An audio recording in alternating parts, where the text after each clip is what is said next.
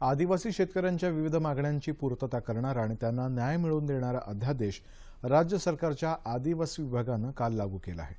या अध्यादेशामुळे आदिवासी लोकांना मोठा फायदा होणार आहे. वनहक्क कायद्याअंतर्गत केवळ तांत्रिक कारणं देऊन आता दावे नामंजूर होणार नाहीत. अशा प्रकारे तांत्रिक कारणास्तव दावे नामंजूर होण्याचं प्रमाण अधिक असल्यानं वन विभागाच्या अधिकाऱ्यांना वननिवासी अधिनियम आणि त्यामधल्या सुधारित नियमांचं विशेष प्रशिक्षणही देण्यात येणार आहे. वनहक्क धारकाकडे असलेल्या प्रमाणपत्र आणि सातबाऱ्याच्या आधारे आदिवासींना बँकांकडून मिळणारी कर्ज तसंच इतर शासकीय योजनांतर्गत मिळणाऱ्या लाभांची नोंद घेण्यासाठी महसूल विभागालाही निर्देश देण्यात आले आहेत. दरम्यान राज्य शासनाच्या आदिवासी विकास मंत्रालयातर्फे राबवण्यात येत असलेल्या वनहक्क कायद्याचा आढावा घेण्यासाठी केंद्रीय आदिवासी विकास मंत्रालयाचे सचिव दीपक खांडेकर यांनी काल पुण्यातल्या आदिवासी आणि संशोधन प्रशिक्षण संस्थेला भेट दिली. त्यांनी यावेळी राज्यातल्या कामाचं कौतुकही केलं. या महत्त्वपूर्ण अध्यादेशातल्या सूचना त्याची अंमलबजावणीची प्रक्रिया आणि त्यामुळे आदिवासी जनतेला मिळणारा फायदा याविषयी अधिक माहिती देण्यासाठी आदिवासी विभागाचे सहसचिव सुनील पाटील आज आपल्या स्टुडिओमध्ये आले आहेत. नमस्कार. नमस्ते. साडेनऊच्या बातमीपत्रामध्ये आपलं स्वागत. मला असं वाटतं गेल्या वर्षी नाशिकपासून मुंबईपर्यंत जो एक आदिवासींचा लॉंग मार्चवाला मोर्चा आला होता. त्याच्यानंतर आदिवासींच्या प्रश्नांची एक तड लागली पाहिजे अशी अशी एक प्रामुख्याने भूमिका मुख्यमंत्र्यांनी सुद्धा घेतली होती. आणि गेल्या सहा महिन्यामध्ये त्या दृष्टीने काही महत्वाची पावलं सुद्धा उचलली गेली. आपण काय सांगाल? तो ऐतिहासिक मोर्चा झाला आणि त्यानंतर जवळजवळ तीन तास मुख्यमंत्र्यांनी त्या मोर्चाला दिले. सगळ्या बाबी समजावून घेतल्या. आणि त्यानंतर त्यांनी असं आश्वासन दिलं होतं की येणाऱ्या सहा महिन्याच्या कालावधीमध्ये हे सगळे जे प्रश्न निर्माण झालेले आहेत तर त्याच्याबद्दल काही ठोस तोडगा आपण यातनं काढू. आणि त्याप्रमाणे त्यांनी एक मोहीम घेतली. आणि त्यांनी सांगितलं की दर महिन्याला दीड महिन्याला स्वतः चीफ सेक्रेटरी साहेबांनी याच्यामध्ये आढावा घ्यावा. तीन आमची प्रामुख्यानं डिपार्टमेंट्स याच्यामध्ये सहभागी झाली. आदिवासी विकास विभाग रेव्हेन्यू आणि वन विभाग. तिन्हीच्या अधिकाऱ्यांचं सी एस साहेबांनी वेळोवेळी त्याच्यामध्ये रिव्ह्यूज घेतले. आणि आता सहा महिन्याच्या कालावधीमध्ये जर आपण बघितलं तर एक फार मोठ्या प्रमाणात आता आपण पुढे आलोय. त्याच्यानंतरचा हा आपला आत्ताचा आजचा जो अध्यादेश आहे तो त्याच्यानंतरचा आहे. पण मग या अध्यादेशाचं नेमकं वैशिष्ट्य काय? म्हणजे तांत्रिक कारणासाठी जे दावे फेटाळले जात होते नेमकं होत काय होतं? अडचणी काय येत होत्या? मी मगाशी आपल्याला सांगितलं तसं सहा महिन्याच्या कालावधीमध्ये बरंचसं काम झालं आणि त्यातले फेटाळलेले जे दावे आहेत परवाच्या काही एक स्वतः सीएम साहेबांनी त्यामध्ये एक रिव्ह्यू मिटिंग घेतली. सगळ्या कलेक्टर त्यांच्याशी पण बोलल्यानंतर त्यांच्या असं लक्षात आलं की याच्यामध्ये जे रिजेक्शन झालेलं आहे ते काही तांत्रिक कारणामुळे झालेलं आहे. तर त्यावर त्यांनी असा आदेश दिला की ही तांत्रिक कारणामुळे झालेलं जे रिजेक्शन आहे ते सगळं रिव्ह्यूमध्ये घ्या.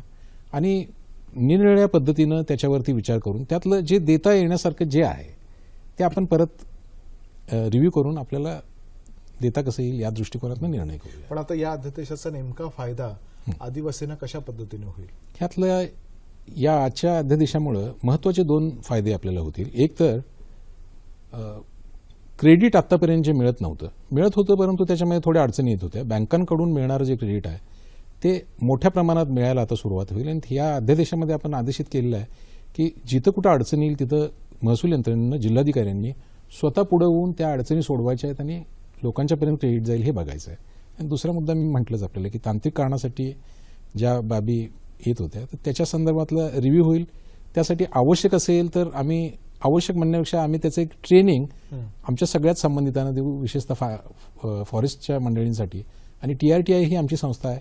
त्यांच्याकडनं आता तयारी पण सुरू झाली आणि ते त्या दृष्टिकोनानं ट्रेनिंगची तयारी करतात सगळ्या आता मुळात अडचण अशी होती की एक शेतकरी आणि दुसरा म्हणजे आदिवासी शेतकरी असा एक फरक मानला जात होता. अनेकदा आदिवासी शेतकऱ्यांना शेतकऱ्यांच्या म्हणून ज्या काही योजना आहेत त्यांचा सुद्धा लाभ मिळण्यामध्ये अडचणी येत होत्या. त्या दूर होण्यामध्ये काही अंशतः आता याची मदत होईल का? हा, याच्यामध्ये फार मोठ्या प्रमाणामध्ये आता आपण असं केलेलं आहे की एम के सी एलनं त्यामध्ये आमच्या सगळ्या आत्तापर्यंत मिळालेल्या साधारण दोन लाख आदिवासींचं एक डाटाच तयार केलेला आहे.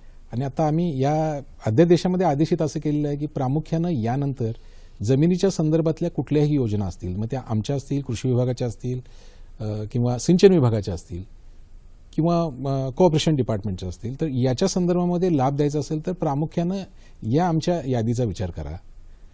त्यामुळे ह्या सगळ्या योजना मोठ्या प्रमाणात या मंडळींना मिळायला सुरुवात होईल. खरं आणि मुळात आता जी जंगलं आहेत त्या जंगलांमधलं आदिवासींचं जे जंगलाशी नातं आहे ते खरं म्हणजे खूप आदिम काळापासूनच आहे. जी. तर ते नातं अधिक वृद्धिंगत होण्यासाठी या अध्यादेशामुळे नेमके काय मदत होऊ शकेल? केवळ हा अध्यादेश नाही पण गेल्या काही काळामध्ये जी पावलं आपण उचलतोय त्याच्यामुळे नेमके काय नेमके काय आता बदल होतील असं वाटतं हा एक थोडासा बऱ्याच लोकांचा आतापर्यंतचा गैरसमज होता की त्या जंगलामध्ये जर आम्ही शेती करायसाठी या आदिवासी मंडळींना दिलं तर त्यामुळे जंगलांना कुठेतरी त्रास होईल अशी एक गैरसमजूत लोकांच्यामध्ये होती. प्रत्यक्ष जर आता आपण बघितलं तर त्यामध्ये असं दिसतंय की जिथं म्हणजे दोन हजार दहाच्या आसपास हिची मोठी प्रमाणात कारवाई सुरू झाली दोन हजार दहा नंतर आदिवासींना तो विशिष्ट जंगलाचा भाग आपण देणार म्हटल्यानंतर त्याच्यामध्ये असं दिसतंय की आमच्या संशोधनाप्रमाणे जंगलामध्ये संवर्धन झाले आणि आदिवासी आणि जंगल यांच्यामध्ये जे सहअस्तित्व आहे ते ऑर्गॅनिक स्वरूपाचं आहे. तर ते जिथं जिथं जंगलांचा आणि आदिवासींचा संबंध आला तिथं जंगलाचं संवर्धन झालं असं दिसतंय. तुम्ही आता प्रशिक्षणाचा उल्लेख केला. नेमक्या कशा प्रकारच्या प्रशिक्षणाची गरज? मग महसूल खात्यातले अधिकारी असतील वन खात्यातले अधिकारी असतील कशा प्रकारचं प्रशिक्षण आदिवासी विभागातर्फे दिलं जाणार? याच्यामध्ये असं झालेलं आहे की काही तो जो दोन हजार सहाचा अध्यादेश मी म्हटला आणि त्याच्यानंतर जे नियम तयार झाले त्यात कशा पद्धतीनं तो दावा तपासावा याची काही पद्धती आहे. त्यामध्ये काही गैरसमज आमच्या पण विभागांमधनं काही झाले. की हे विशिष्टच पद्धतीचा जो पुरावा जर जोपर्यंत मला मिळत नाही तोपर्यंत तुम्ही देणार नाही असं काही थोडा विषय लोकांच्या मनामध्ये आला होता. तर त्याच्या संदर्भामधला सगळा जो खुलासा आहे आमच्यामधले जे काही यातले तज्ज्ञ मंडळी आहेत ते आतापर्यंत तयार झालेल्या महत्त्वाच्या ज्या केसेस आहेत त्या त्याच्यामध्ये जे ॲक्सेप्ट केलं ते पण आणि रिजेक्ट केलं त्यातलं योग्य आणि अयोग्य या सगळ्याचा विचार करून योग्य काय आहे ते त्यांच्यापर्यंत जावं यासाठी हे प्रशिक्षणाचं प्रयोजन आहे. पण त्याच्यामुळे आदिवासींचा सुद्धा ज्या काही जेन्युइन मागण्या आहेत त्यांची पण तड लागायला खूप जोर जोरदारपणे मदत होईल. अगदी यात काय शंका नाही. ही साधारण दोन हजार सहापासून सुरू झालेली प्रक्रिया आहे. मी आपल्याला म्हटलं त्याप्रमाणे मुख्यमंत्र्यांनी स्वतः लक्ष घातल्यामुळं गेल्या सहा महिन्याच्या त्या ऐतिहासिक मोर्चानंतर गेल्या सहा महिन्याच्या कालावधीमध्ये मुख्यमंत्री सी एस आणि आमच्या ह्या तिन्ही विभागांनी फार प्रयत्न करून आता ते शेवटाला आणलेला आहे. तर तो शेवट येत असतानाच त्यातलं रिजेक्शनचं प्रमाण बघून ह्याचं आता मला वाटतं अजून एक दीड एक लाख तरी दावे असे आहेत की जे प्रलंबित.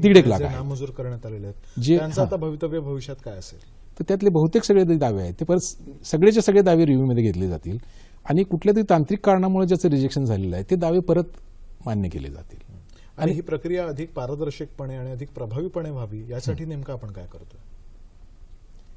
एक तर याच्यामध्ये असं आहे ही प्रक्रियाच आहे ती एक ट्रान्सपरंट पद्धतीची लोकशाही प्रक्रिया आहे. आमची पंधरा पंधरा हजारच्या पंधरा हजार तीन असे आमचे त्या ग्रामसभा आहेत. त्या ग्रामसभांमध्ये संपूर्ण गावासमोर तो क्लेम येतो.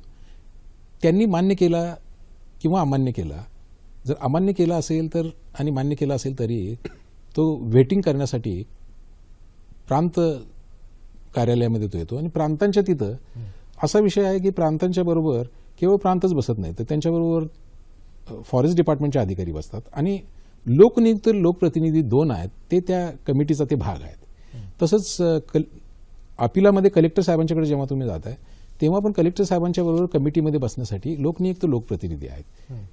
त्यामुळे ती पारदर्शकता जी आहे ती वेगळ्या पद्धतीनं रेव्हेन्यूची एक नेहमीची जी पद्धती आहे त्याच्यापेक्षा वेगळ्या पारदर्शक पद्धतीनं हा विषय पुढे जाईल. खरं आणि सरकारी अधिकाऱ्यांची तुम्ही म्हटलं तसं की त्यांचंही थोडं प्रशिक्षण व्हायला पाहिजे आणि थोडी त्यांची मानसिकता बदलायला पाहिजे. पण लोकांची मानसिकता बदलायला पाहिजे. लोकांकडून कशा प्रकारचा सहभाग तुम्हाला अपेक्षित आहे? लोकांच्याकडून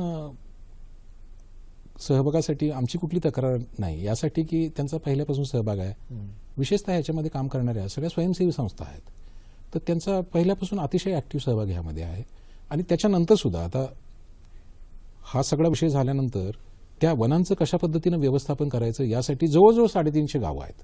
त्या साडेतीनशे गावांमध्ये सगळ्या ज्या निरनिळे एन जी ओज आमच्याबरोबर काम करतात त्यांच्यासहच आम्ही आता पुढे चाललेलो आहे. आणि ते ॲक्टिव्हली आम्हाला त्यांचं पार्टिसिपेशन पण आहे आणि त्या आम्हाला सहकार्य पण करतात की कशा पद्धतीनं आपण पुढे जाऊया. जनतेचं लोकांचं आदिवासी मंडळींचं तर फार मोठं सहकार्य आहेच.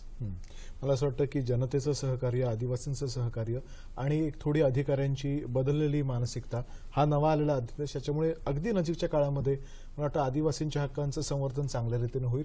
आपण इथे आलात आणि आमच्याशी या महत्त्वाच्या विषयावरती चर्चा केली. याबद्दल धन्यवाद. Thank you sir